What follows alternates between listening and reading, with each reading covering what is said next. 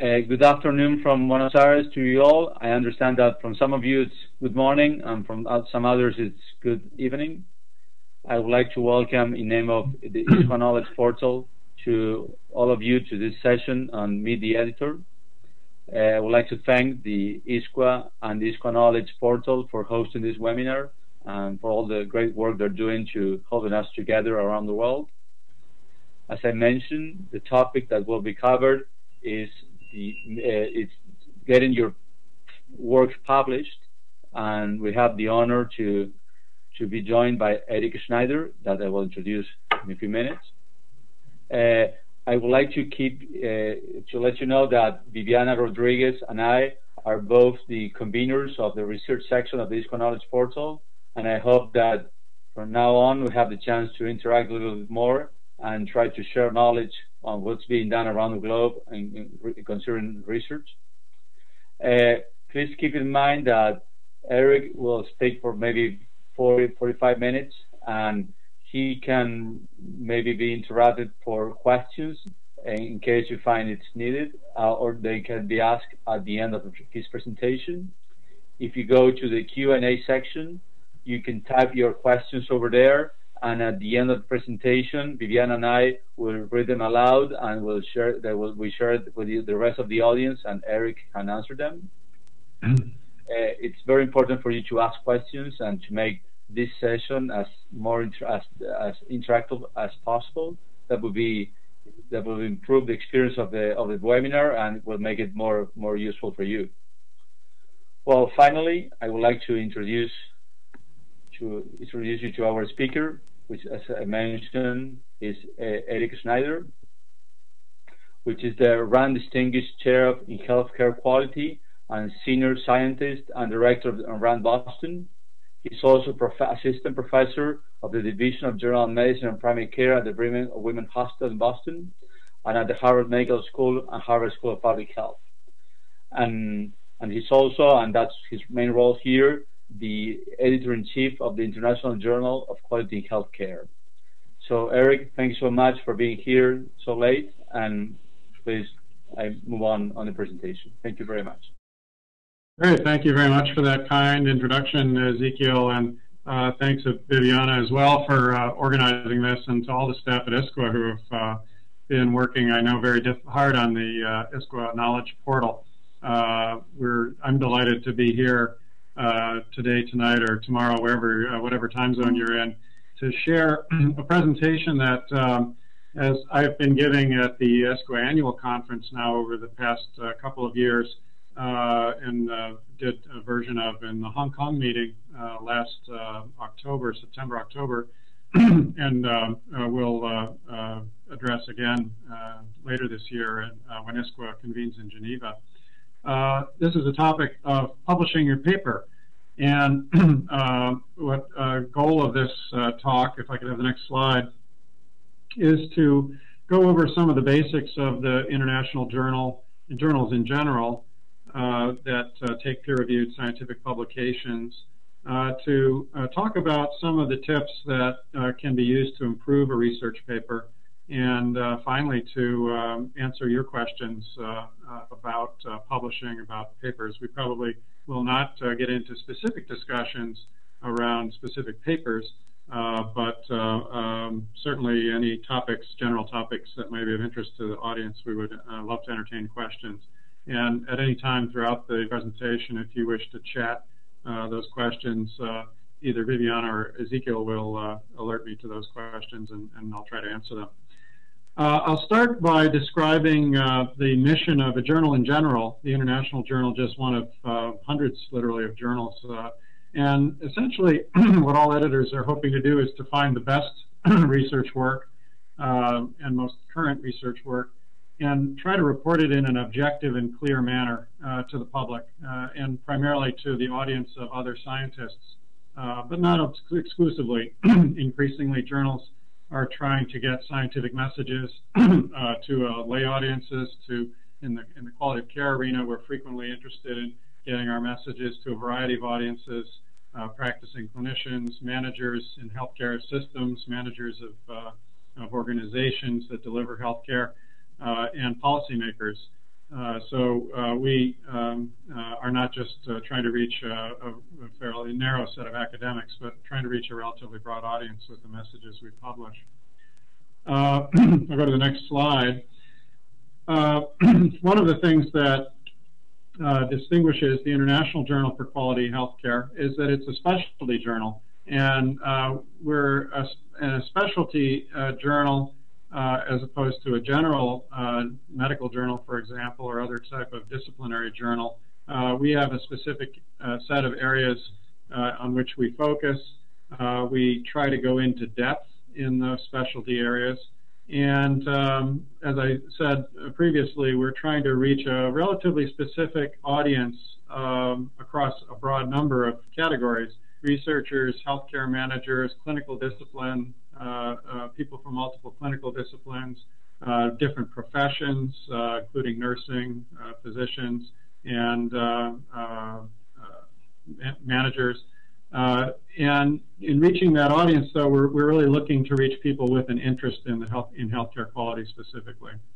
Uh, we also uh, look to try to create a sort of integrated content across the types of papers that we publish, like any journal.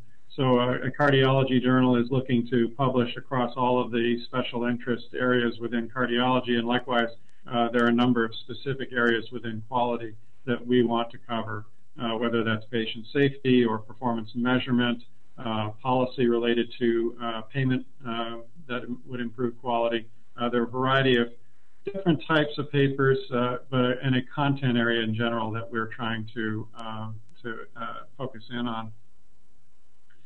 Uh, let me move to the next slide to say a little bit more about uh, what that means. Quality of care, uh, as, as we understand it, really has to do with areas such as improvement. So we're very interested in studies uh, related to uh, efforts to improve the quality of care. In fact, that's increasingly our focus uh, because the problems of healthcare quality are generally well documented, although updates are necessary. Uh, and uh, more of the challenge uh, now is to how to take interventions that work and apply them in, across a variety of settings and countries and go from that to um, actual improvements in the quality of healthcare that's delivered, access to care. Uh, we're also interested in organizational management because delivery organizations are, uh, and the way they're managed obviously has a profound influence on what's achievable in healthcare quality. Uh, the area of accreditation uh, certainly fits into our uh, interest area. we're very interested in methods and measurement as um, topic areas.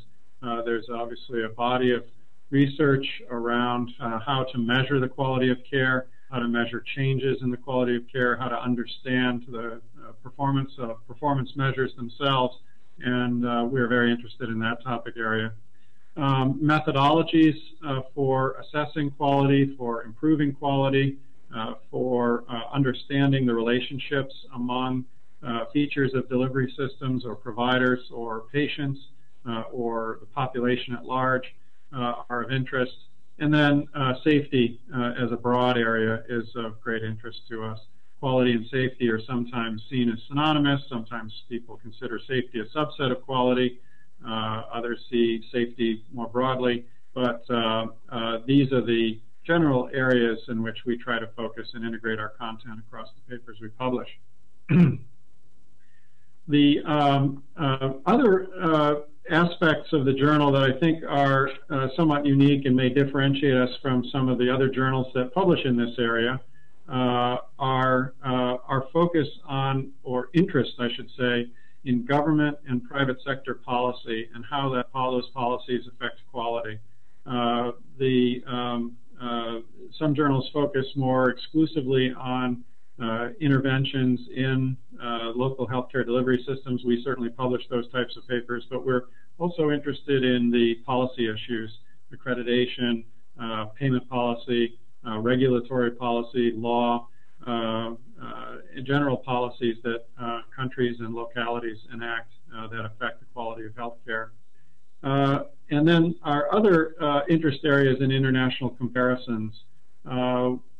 we, the journal comes out of a tradition over for the past 25 years almost now of its existence of trying to foster dialogue from among people from different countries, trying to increase the knowledge of how other healthcare systems Uh, deliver care, how they improve quality, uh, how they uh, deal with safety issues, and to try to extract and, and disseminate the lessons that can be learned when we observe how the participants in a healthcare system in a country like China or India or any one of the hundreds of countries in the world, uh, how they manage quality and how it, it uh, how their approach uh, could be uh, applied or lessons from their approach could be applied in the country we're uh, coming from.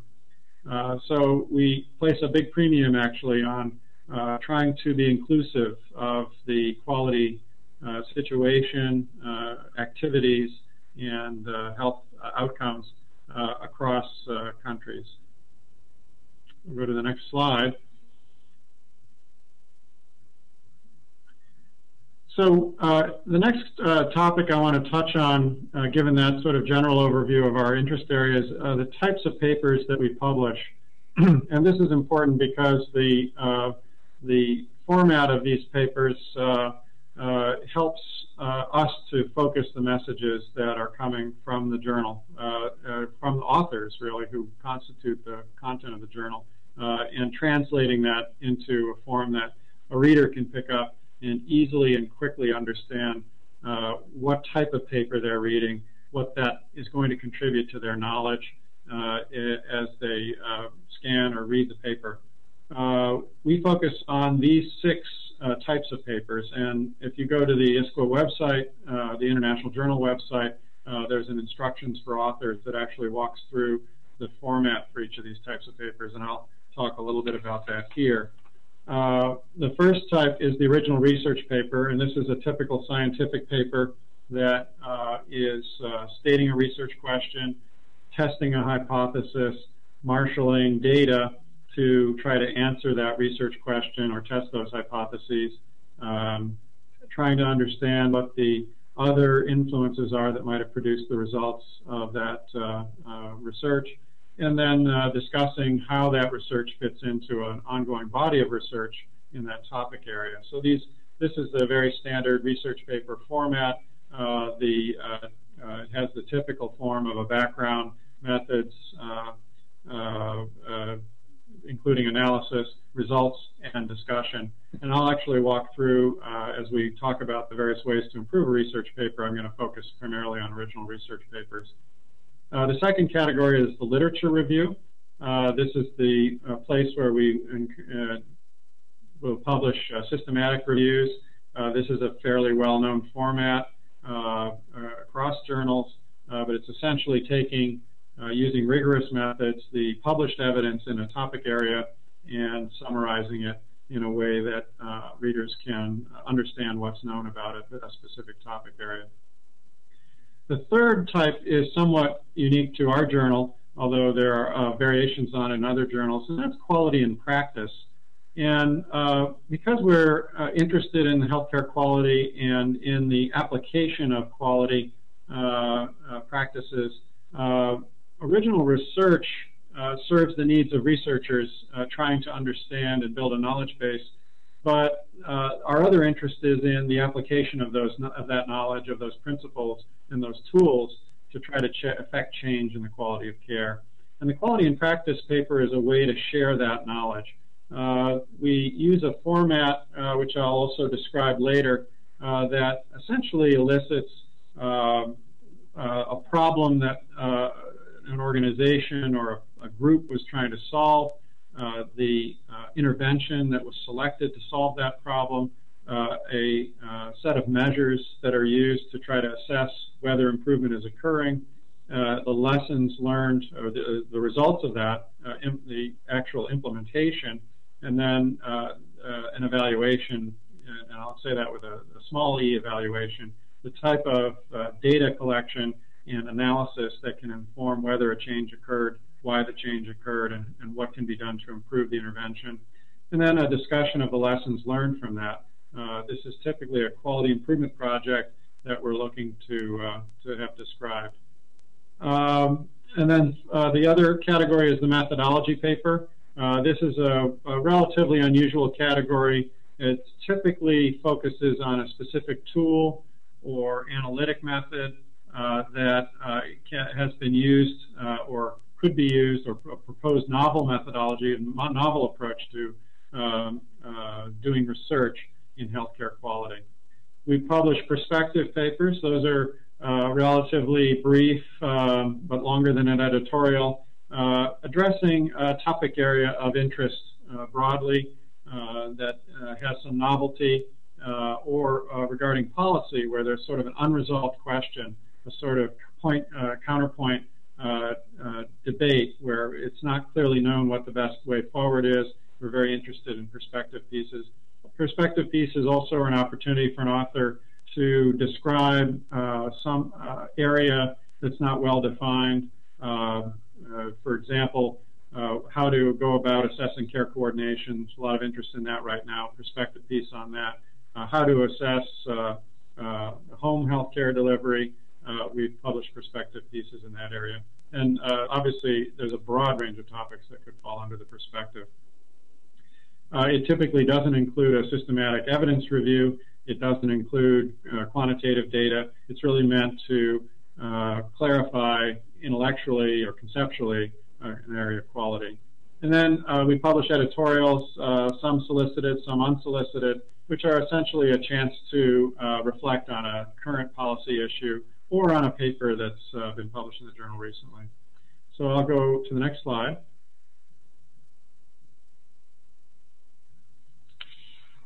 Now, uh, this just gives you a sense uh, from uh, two recent years of the uh, submitted papers to the journal. Uh, the journal um, uh, receives on, overall has been receiving a larger and increasing number of papers, 593 papers in 2011. And just to give you a feel for the relative breakdown of the submitted papers, 440 of those, fair, you know, the majority of them are research articles. Uh, we received quality and practice perspectives and letters. Uh, there were 81 of those in 2011. This, the literature review constituted 33, and the methodology papers, there were 32. Uh, overall, we publish um, uh, approximately 70 to 80 papers per year. Uh, so you can see there's something of a, of a high bar, actually, to uh, reach publication. Um, but this gives you a, a, general feel for the types of and categories of papers that are being submitted. We'll go to the next slide. Uh, so I want to go now inside the black box and, and hopefully demystify some of what occurs uh, when an author has uh, performed a research project, uh, now written a draft paper uh, that they would like to submit, submits the paper to the journal, and the question is uh, always, well, what happens then? What happens next? And uh, I'll describe a process. This is a pretty typical process for any journal, uh, and ours is a little varied from uh, what I've seen at some other journals. Essentially, that submission comes in. It's logged by a managing editor, and all the papers are screened by me, the editor-in-chief. And then um, uh, at that stage, uh, papers are, are uh, evaluated for their fit with our general content area, for their clarity, the scientific soundness. There's a sort of initial screen that to make sure that the paper is sufficient uh, adequately formatted, accurately, uh, or adequately described uh, and, written so that it can be evaluated by others.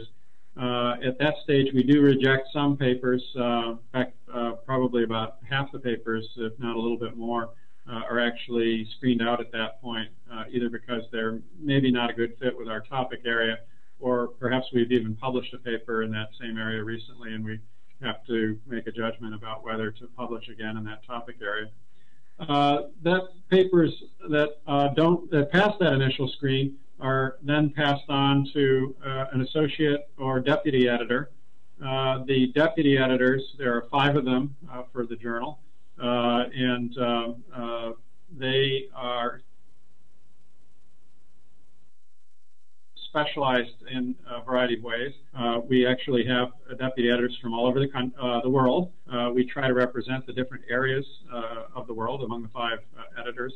we have one in Europe, Ezekiel, who's in South America, myself in the U.S., uh, Hugo Ollersheim also in in, in Europe, Anthony Staines in Europe. Uh, and we're uh, interested, and, and Sunol, uh, Rosa Sunol, who's a, a Spanish-speaking deputy editor from Spain. We're um, often interested in expanding the deputy editor um, participation of, of, others. So if you have interest in serving as a deputy editor, we would encourage you to be in touch.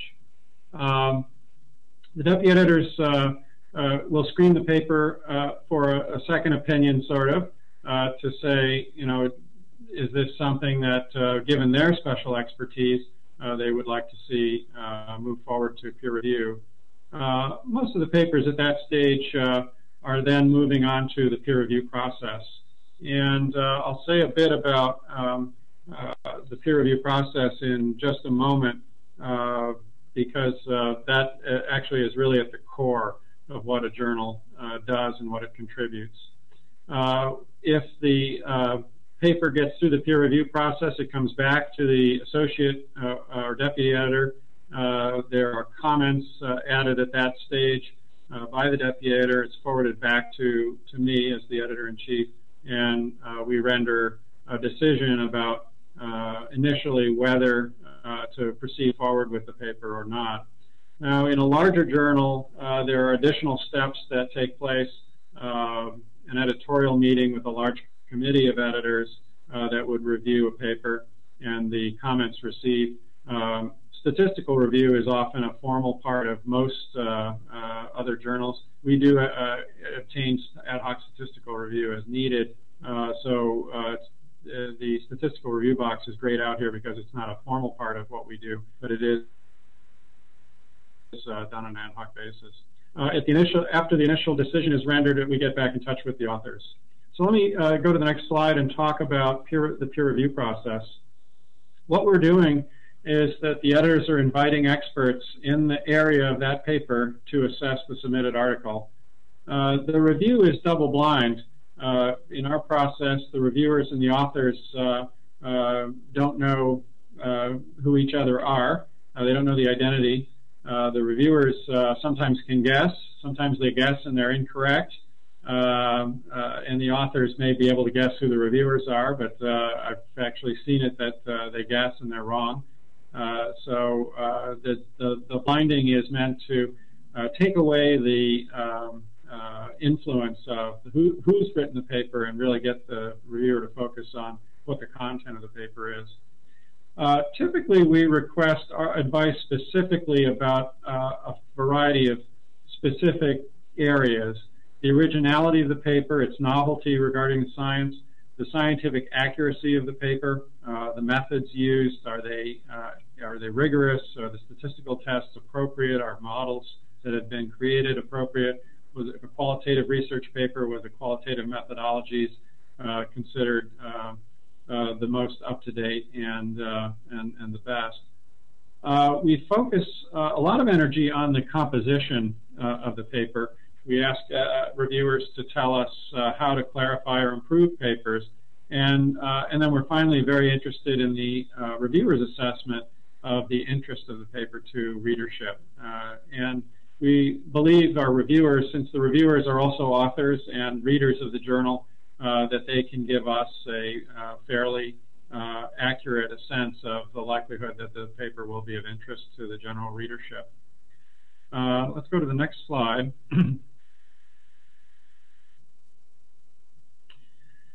Uh, so uh, a couple of things, and I could really probably say quite a bit more about the review process itself. And but among the things that we're uh, keen on is that the uh, reviews reflect fairly and impartially uh, on the content and structure and messages of the paper. the editor, the deputy editor, and ultimately the editor reread the paper and reread the and read the reviews, take those reviews into account. Uh, we typically try to obtain two peer reviews for every paper. It's not always possible, but uh, in, in, some instances, we'll uh, get as many as three or even four uh, reviews if we're trying to really resolve uh, unresolved issues. Uh, reviewers sometimes will give an opinion either in confidential comments to the editor or sometimes in the comments to the author, although we prefer they not do that, as to whether the paper should be published or not. We're not actually seeking that um, opinion directly. What we're interested in is uh, if the paper were published, uh, how, how could it be better, and if the paper has significant problems or not. It's the editor and not the reviewer who will ultimately make the decision about the paper. Actually, I should say the editorial team, because the deputy editors and the editor often work together to uh, render a decision. Uh, reviews can often be split uh, we find this not infrequently that one reviewer will give a very positive review, not have many suggestions, another reviewer a negative review with multiple suggestions. We actually also get reviews that are very positive where there's a lot of constructive uh, suggestions about how to improve the paper. That's actually the ideal from our perspective.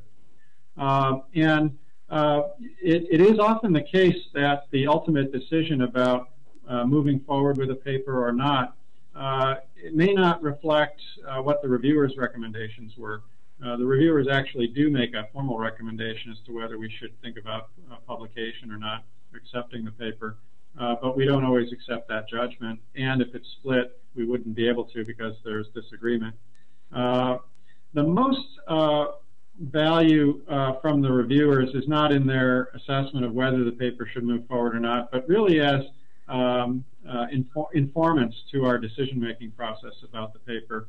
And um, in my own experience as an author, reviewers often are able to have supply insights that can lead to the improvement of a paper and the way it's written, the way it's portrayed, uh, and even suggest analyses that we may not have thought of uh, previously. So we really see this as a partnership uh, between the reviewer and the author. Sometimes people consider it adversarial, but from our perspective, there's really a partnership here between the reviewer, the editor, and the author to try to make uh, a paper the best it can possibly be. We'll go to the next slide. Uh, so uh, I wanted to just reemphasize the what editors are looking for in a paper uh, because that's often mysterious, I think, to authors. Uh, it's easy for us as authors to become really uh, you know, focused on our work and, and uh, estimate it to be the greatest uh, uh, piece. Um, but the editor has the role of trying to figure out how it fits into a much larger picture. And so what we're looking for in papers are uh, uh, messages or results specifically that are important that we think would change the way people are thinking about or practicing related to healthcare quality. Novelty is important, uh, and novelty is complicated in this context of quality because uh, novelty uh, is uh, uh, frequently uh, it, novel ideas or new ideas can be new to everyone, or they can be the application of a method in a setting where it's never been used before. But that method may be well known in other countries, and so particularly for the International Journal, we sometimes uh, have to debate uh, whether uh, a method that is already well established in the literature has been described as being effective. well, if that's applied in a setting where it's never been tried before, do we consider that novel or not? And those are judgments that can sometimes be challenging for us. Uh, we're, of course, very interested in work that is scientifically rigorous and accurate. Uh, we spend a lot of time thinking about the methods that were used in a paper uh, and that includes the sampling, the uh, instruments that have been developed, whether the measures have been validated, uh, what the nature of the statistical analyses is, the recruitment and data collection. all of those factors play into our um, assessment of whether the paper is scientifically accurate. And one of the challenges from an editor's perspective is if those aren't, methods aren't described in sufficient detail for us to understand uh, the scientific accuracy, then that's uh, sometimes uh, can create a, a, challenging situation for us and for the author and reviewers. We're also interested in papers that will have broad interest. So it's not un unusual for a paper to come from a particular country, say the U.S., that, let's say, deals with a very um, topical policy issue that's relevant in the United States, um, but in fact, it's very specific to the United States and may not be of interest to people in other parts of the world. Uh, and so that uh, broad interest is an important uh, consideration when we read a paper. Uh, and then obviously we want work that's been done in an ethically uh, defensible manner. Uh, journals in general take this very seriously. there's a whole set of guidelines from the International Medical Journal Editors um, group that's online that describes sort of what the expectations are from an ethical standpoint, and that typically means uh, assuring that uh, studies, scientific studies, have been reviewed by uh, human subjects uh, panels, making sure that uh, there was no exploitation of the people who participated, uh, either in the conduct of the study or in the writing of the study. so we take those missions very seriously. let's move on to the next slide. Uh, so now I want to turn to, uh, actually, maybe I'll stop there and see if there are any questions, uh, Viviana, uh, that have come from the audience. Uh, and if not, I'll move on to uh, the, the general topic of improving a research paper. Not yet, Eric. So this is the time where I, I, beg you for questions that could be posted in the Q&A section. So, so far, we got one question about the, the webinar will be available after after your presentation? And the answer is yes, it will be. In maybe days to come, it will be posted in ISQua Knowledge as the previous webinars. So I encourage you to, to make questions. Uh, we'll be there to share with Eric. Please go okay. ahead, Eric. Thank you. Very good. And um, thanks for that question. So uh, let's move to the uh, topic of how to improve your research paper. So um, there are some very key fundamental uh, uh, areas that um, we look at actually at the very at the very first stage, the screening stage. Uh, and so I want to share these with you because they uh, they can really influence the likelihood that a paper can move forward. The first is to pose an original research question, and I've touched on this already. That original in this context uh, may not mean uh, discovering something that's never been known anywhere in the world before, but uh, original in this context means uh, a new method, a new que a question that hasn't been asked before, or it has been asked before, but it's not been addressed in the way that uh, your paper or your study is going to address it, or the application of a method or an approach or a tool in a, a setting where it's never been used before. All of those are uh, potentially original research questions. Uh, there are um, some questions in the area of healthcare quality that um, have been answered uh, pretty broadly and over many studies.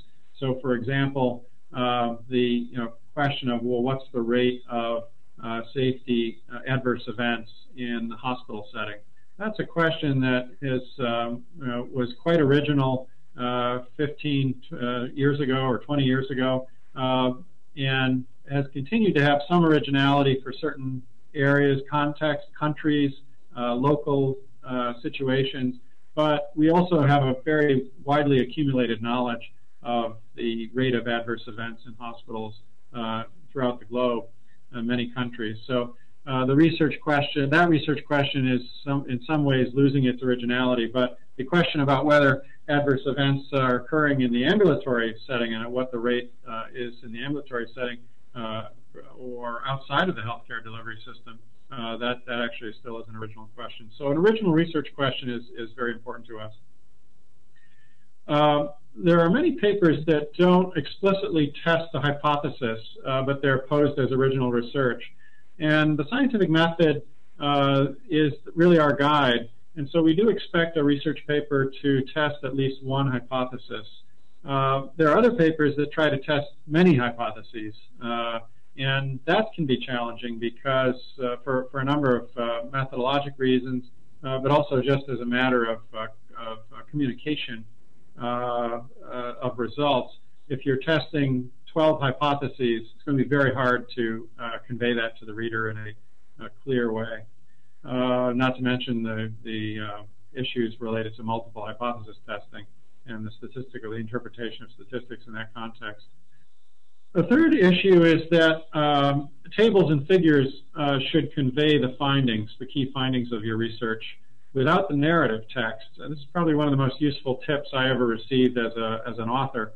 Uh, if you um, uh, think carefully at the very outset about how you're going to portray the results, the, the quantitative results through tables and figures and the concepts in the paper, uh, and you think about structuring those in a way that a reader can look at just the tables and figures and understand most of what you've done and what you've found, that's very powerful.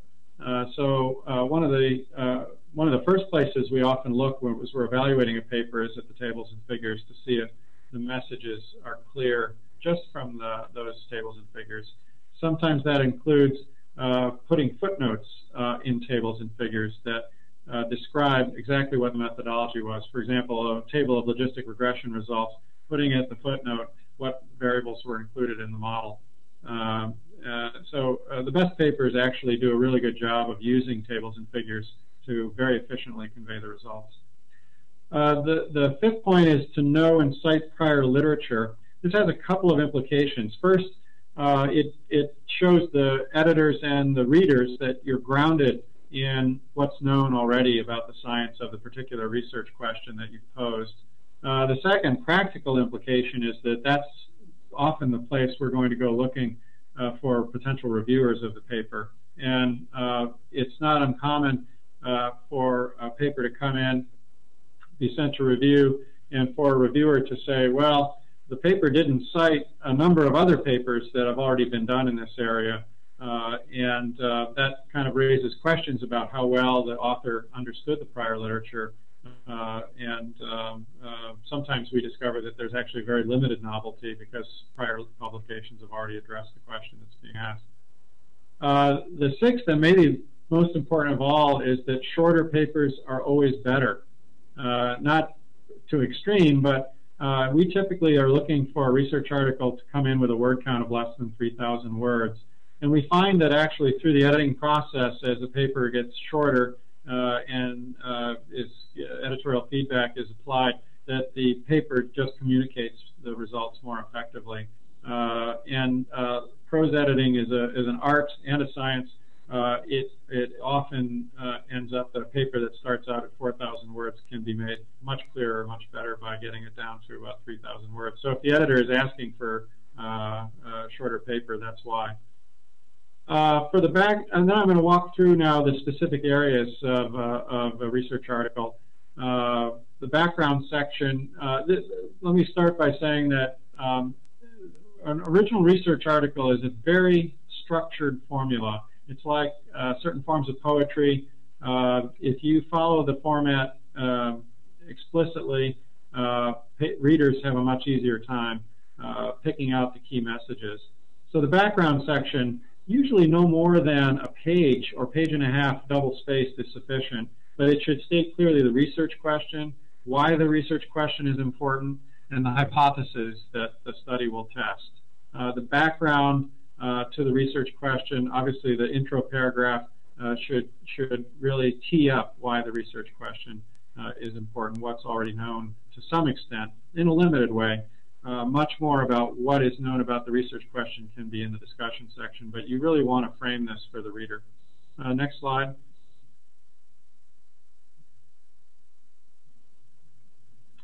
Uh, the uh, next section of every research paper is the methods section. And I highly recommend a, a, single paragraph overview at the very beginning of a methods section that essentially lays out uh, the, the, the, what was done uh, the, the sort of general statement of the data that are going to be used, the sample, uh, the instruments, and the um, uh, way that you're going to answer the research question. Sometimes that can actually be included in the last paragraph of the background, uh, but if it's not, you know, sort of generally clear there what sample and data source are going to be, uh, putting that overview at the beginning can really help orient the, the reader. The analysis section should always come at the end of the methods section. So which statistical tests were done in what order uh, was the, where the calculations performed. Uh, that, that paragraph should, should come at the very end of the methods section. In the middle, between the overview and the analysis, are other components as they're needed. And so the, the, the, order is typically instruments and their development. So if you develop a survey, you would describe how the survey was developed. Or if you are measuring something using a set of existing measures, what those measures were and what they, how they originated. The study sample, uh, what, uh, what is the study sample that is going to be used to analyze the, uh, the question? Uh, if it's an intervention study, a description of what that intervention was, and in enough detail that it could be replicated uh, in uh, uh in uh, uh, by others performing that intervention. and then finally, a description of the collection procedures for data. How were the data collected? what's known about the validity and reliability of the data? those are also important. Uh, let me go uh, to the next slide. Uh, the next section is on results, and the um, uh, results section should be relatively brief, and it should include only the results. It's occasionally we find that uh, methods are described in the results section. Uh, people feel the need to restate how a model was constructed. Uh, if you've done that in the uh, in the methods section, it really doesn't have to be repeated in the results section. The results section should only include results. It should also follow the same sequence that you described in the analysis section. So if you do some descriptive statistics first, then you prevent, present some bivariate results, then you a logistic uh, present a logistic regression result. That sequence should be described in the analysis section uh, in exactly the same uh, sequence uh, highlight only the most important numbers in the text. And here again, I want to emphasize the use of tables and figures for uh, most of the numbers that are going to appear in the paper. Uh, it's much easier to read uh, a description of what's in a table with the table, the author then, or sorry, the reader then able to look at the table uh, and see the numbers and comparisons uh, in the table format than to try to read the numbers in the text itself. Uh, key numbers should obviously be reported, but not all the numbers, and certainly not all the numbers that appear in a table. Uh, let's go to the next uh, section. Uh, the discussion section uh, is um, uh, the final part of the paper, and um, the challenge, I think, in writing a good discussion section for all of us, and I include myself as an author, is to really boil down to six or seven paragraphs uh, the uh, implications that uh, flow from the results. Uh, one way to approach this is to use a very strict format uh, of for each paragraph. So paragraph one often will summarize key results that have already appeared in the results section, but just sort of to say this is these are the these are the really key numbers and relationships that we've discovered. The second paragraph then can explain the relevance of those results uh, in relationship to uh, the original research question, might talk about what are some of the potential mediators that, uh, for example, tie some set of predictors to some set of outcomes in that type of paper. Or if it's an intervention study, how, how it appeared that the intervention had its effect. The third paragraph can then compare and contrast the results with prior published literature. And um, this is an important, this is the area where prior research is often cited, uh, the uh, results of those prior studies and how uh, results are either confirming or disconfirming or, or distinct from those prior uh, published results. Uh, for the international journal, we have this additional, um, and this doesn't necessarily have to be a paragraph, but it's good if it is, is to discuss why this study is relevant to readers from other countries. Why is this something that uh, a reader halfway around the world uh, should be interested in? Is it, you know, what's the relevance uh, outside of the policy context of the country where the study was done? Or if it's a multi, uh, stu multi-country study, an international comparison study, what does that comparison reveal about uh, the, the, particular area of knowledge? Uh, finally, a limitation section. I think um, uh, there are different styles regarding limitations. Some people like to state a limitation and then talk about why their paper has overcome the limitation. That's one style. I tend to think that the style that just states all the limitations is uh, easier to read, uh, clearer, and uh, at the end of the day, it's going to be up to the reader to judge how those limitations might affect um, the, uh, the, the interpretation. And then finally, a summary and conclusion. Really, what uh, a discussion section is meant to do is frame this for the reader and help them understand what you found, why it's relevant, and what it tells us about prior knowledge, and ultimately um, to give the reader a sense of how sure you are, how certain are the results. So that's a research article. Um, uh, I see that there's a question on qualitative uh, research articles, uh, and I'll just address that now. Uh, and uh, the question specifically was uh, um, for qualitative articles, is preferable to put quotes in boxes or throughout the article. for the journal, we actually either style would be acceptable. the um, quotations if they cluster naturally around a topic area, a box can be a useful mechanism for uh, calling out quotations. If they are um, illustrating a point in the narrative, uh, I guess I would keep them embedded in uh, in the text of the article. Um, hopefully that's a helpful. Eric. Eric. Yes. Yes, we have like seven, eight questions in the queue. Oh, so okay. Maybe if you would like to make like a an end to your presentation, and then we'll start taking questions? Sure. So uh, actually, I'm pretty close to the uh, pretty close to the end now. Why don't we go to questions now, and, and if we have time, we'll. Uh, uh, well, all I was going to talk about at this point was the quality and practice format, the review article format. Again, that information is available on the uh, instructions to authors. So uh, if we go forward two slides, we'll actually be at the Q&A. Okay. Well, one question talks about the, it's an usual question. What is the time frame between submission, notification, and if accepted publication? Right. So I'll, I'll talk about uh, some of the ideal time frames. And uh, uh, to those of you who are authors who may have been submitting papers in the past year, um, uh, the, we haven't kept to what I consider the ideal time frames, uh, but we are uh, we've made changes and, and we expect that we will be on timelines going forward. And these are our expectations. Typically, we are hoping to uh, initial do that initial screening of a paper within two weeks of its arrival uh, to the uh, to the journal. Uh, that can range from two to four weeks, depending on the volume of papers that's coming in and the the um, density of the papers.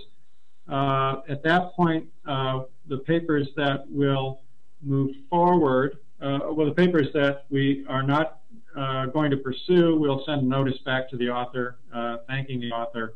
and um, in some instances, not always, but we try to give some information about why our, you know, the reason for our decision at that point. But we try to turn those around quickly. The next stage is the review stage, and um, it's approximately ideal, under ideal circumstances, about 45 uh, to 60 days uh, from submission to completion of the reviews. And one of the challenges uh, and is to get the reviews, get a sufficient number of reviews, and have the reviewers respond on time. Uh, so uh, ideally, it's 60 days, it can sometimes stretch beyond the 60-day time frame uh, before we have the reviews back. And uh, and then at that point, within 60 to 90 days, ideally, we're responding to the uh, initial submission with uh, judgment based on the reviews. papers that we um, then, if we're looking for a, re a revision and resubmission, we typically allow a couple of months uh, for that revision resubmission. If it's going to be, if we would like to publish the paper sooner, we'll actually put that request in. Uh, and then uh, revisions, we uh, it's very dependent on whether we need to send the paper back to reviewers. Sometimes reviewers will ask specifically, or the editor feels that they need the reviewer to, to uh, weigh in on whether uh, paper has uh, been sufficiently responsive uh, to the reviews. Um, so uh, it's hard to answer in terms of the ideal timeline. we occasionally have papers coming back from authors three to four months later sometimes revisions uh, we, they take longer than we want. And uh, we're also sensitive uh, uh, on the back end to the publication schedule. Occasionally, a paper could be accepted but might not appear in print uh, for some months, although once it's accepted, the electronic version is usually made available earlier. Hope that's helpful. Well, then I have two questions from the same person that says, one, if we are interested in papers using consensus development methods such as Delphi and nominal group technique, and the same person asks, how many review articles are published per year? Yeah, so good, good questions. Uh, I would say we will publish around six to eight review articles in a typical year. Um, and in answer to the review article question, we actually uh, are very interested in review articles. Uh, the um, uh, in particular systematic reviews that have been rigorously done. I think we would publish more review articles. It's just a matter of kind of how many we receive. Uh, so, but we're very keenly interested in review articles. On the first question regarding uh, consensus me consensus methods, um, I'm I guess I'm uh, understanding that as a question about whether we are interested in papers that study the consensus me consensus methods directly. And the answer to that would be yes. Uh, we're very interested in um, advances in those consensus methods, uh, their application. Um, but uh, I think one of the challenges will be novelty, since quite a bit is known about consensus methodologies. They've been around for a long time. Um, papers that use those techniques to uh, advance healthcare quality measurement or prioritization are also of interest to us if that if the question was actually that other uh, uh, version. Well, then we have another question from someone that mentions that does healthcare research related to marginalized populations such as drug users seems relevant to a broader audience in terms of healthcare quality, such as frequency and reasons for these populations accessing healthcare services which are not drug related? Yes, uh, so those are a terrific question. And yes, we're very interested in research on um, uh, marginalized populations or minority populations. Uh, we're especially interested in uh, uh, papers that address policies related to marginal or minority populations, and, and that can include a broad range of characteristics. Um, it, it differ from country to country. Uh, I should probably also mention that we're quite interested in papers uh, from uh, areas that are not traditionally represented in the research literature or from countries uh, where there is not a large scientific base. So uh, low and middle income countries uh, Uh, in particular, uh, we, the, the uh, journal has a, a, high interest and ISQUA also has a, an interest in trying to advance science about and knowledge about the experience of healthcare in low and middle income countries. And, and for special populations, I'll just add. Well, then we have another question mentioned asking if if you could explain what you meant when you referred to ethical practices in terms of the writing of a paper. Yeah, and that has to do with uh, authorship uh, primarily uh, and assuring that uh, people who have made a contribution to a paper are appropriately recognized as authors, uh, and conversely, that people who have not really contributed to a paper uh, are uh, are not named as authors. Uh, I mentioned earlier the ICMJE, the International Committee of Medical Journal Editors, which has a set of guidelines on the web uh, that uh, address the issue of authorship and participation in studies, um, the payment of incentives, or the or the um, uh, you know the other topic area of interest under the ethics of publication is the degree to which conflicts of interest may exist, either financial uh, or particularly financial conflicts of interest and funding sources. So uh, when I was referring to the ethics of uh, publication, I really was at, uh, uh, from the scientific perspective, I was referring to uh, both the accurate reflection of contributions to a paper and the um, potential for financial conflicts of interest. both of, all of which should be disclosed in accord with the ICMJE standards. Two, two more questions, Eric. One is how do you publish an article that looks at findings based on a lot of experience in the field using examples from studies you have, you have previously done? This paper gives you a perspective, hypothesis, and conclusion. No research was conducted. Yeah, that's a that's an interesting question. I think the uh, answer would be a perspective piece. Uh, that's a that's a not uncommon uh, for someone in a perspective to summarize in a cumulative way uh, their own research or the research of themselves and other investigators in an area, uh, and to to advance the knowledge by um, providing that perspective without describing the results. Certainly, could refer to the papers, cite the papers, uh, summarize the results, but but it, it's a way of uh, not uh, in a systematic review sense, but in a um, uh, almost an opinion piece, really, an informed opinion or expert opinion piece. That's what the perspective in quality is, is really designed to do. Great. And and the last question that was posted, and it's very good for to be the last one itself, is what advice do you have for young writers who have little experience with the process of publishing? uh, with the process of publishing. So uh, there are a couple of ways to approach the the uh, um, the, the uh, authorship uh, conundrum. Um, one is obviously to read journals and un, you know reflect on what works well in papers that are clear and seem very well communicated. I actually carry around in my head a few papers that are really, I mean, I consider them among the best written papers that I've read.